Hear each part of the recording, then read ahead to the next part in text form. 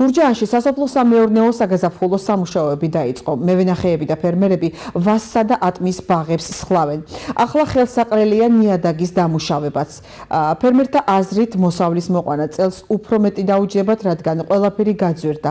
გვალვიანი ამინდების გამო კი უხმოსავალს ვერ მიიღებენ. ნახოთ გიორგი ბაღანაშვილის სიუჟეტი. ჩუმლაყელმა თემურ რუაძემ 40 მიასეზე გაშენებული ვაზის გასხლა დღეს დაიწყო. ამბობს, რომ ეს პერიოდი ამ საქმისათვის ხელსაყრელია. ხარჯების დაზოგვის მიზნით კუთვნილ ვენახს მუშახელის დახმარების გარეშე ამუშავებს. გასხლასთან ერთად აქტიურად მიმდინარეობს ნიადაგის მოხდა კულტივაცია და ნაკვეთებში სასუქების შეტანა. შემდეგ დაიწყება დაკავება. თემურ რუაძეს შარშან ვენახის მოლა 1500 ლარზე მეტი დაუჭდა. წელს კი ფიქრობს, რომ ხარჯები კიდევ გაიზრდება, რადგან გაძვირდა მექანიზაცია და სასუქები.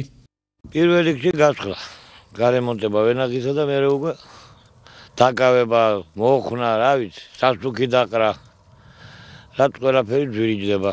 შამქიმიკატები ძალიან ძვირია.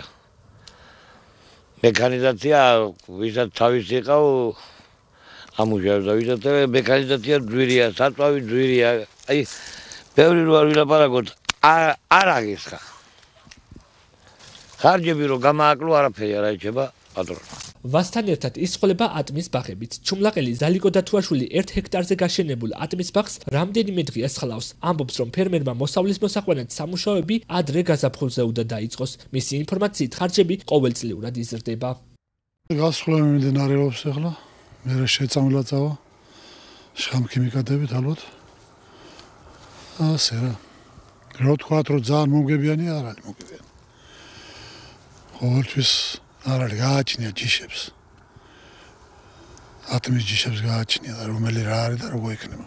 ძვირი ჯდება რომ გითხრა სიმართლე, იმიტომ რომ შხამქიმიკატებია ძვირი.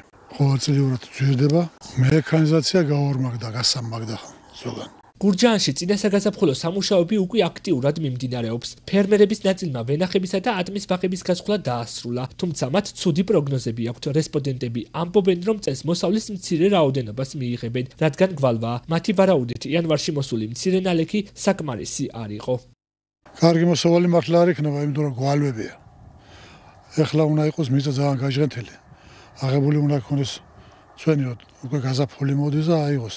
წყალი ჩვენთა მოძრაობა დაიწყოს რაც აუცილებელია ატმისათვის ესეთ მდგომარეობა და გვალვა აჯერ. პატარა ეს ნალექები ეს არ აყოფნის არაფერი არის ამ ოთხი ბარით მიწას და მშრალია დაბლა თოვლი აღარ მოდის რომ მიწამ ხუთენი უნდა იყოს. ყველგან არის მაგალითად ახლა არ გძევიდან არ არის სარტყავი სისტემა მაიშალა. რაც იყო აღარ არის. ან თოვლი თუ არ მოვიდა და ტენი არა იყო შედარებით ნაკლებად მოსავალი იქნა გვალო აი თუ დავიდა გვალო ჩარჩალიყოს თუ დაიწოს უყურა ფედაწლეულ უარეს იქ.